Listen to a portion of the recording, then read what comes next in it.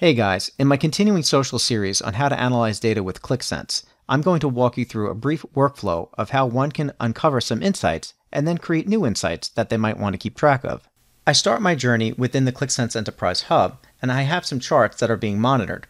In this case here, these are just some simple key performance indicators on the value of the collection.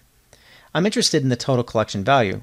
By selecting this chart, not only do I see the current value, but I could also look at chart history. And I also could do a side-by-side -side comparison. I want to learn more about this particular value of this collection, so I'm going to click View in App, and this will bring me directly to the sheet where this particular KPI is stored. Now I can look at other particular insights regarding this collection. Immediately sorted by value, you can see this particular console here, which is the Neo Geo console. I'm going to confirm that selection, and we're going to further dive in and perform more analysis on this. With my selections already maintained, I'm just going to navigate to a different sheet and now we're looking at overall price change from when the collection started to the current date.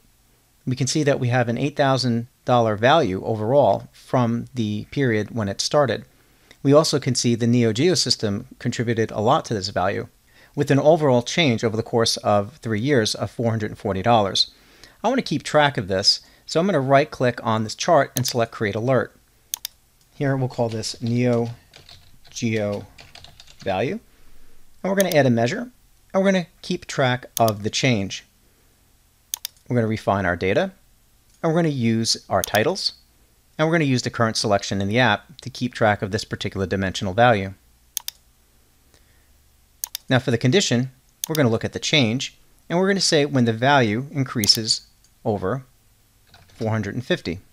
By clicking here to initiate the change, you can see the preview alert is blank. That means that change has not been met. We click Next, and we're going to allow these notifications to happen upon reload, which is happening daily. I'd like to also share this with a colleague of mine, so I'm going to select my friend Kaike and click Create. Now that the alert has been created, Kaike and myself will be alerted when the change value reaches 450.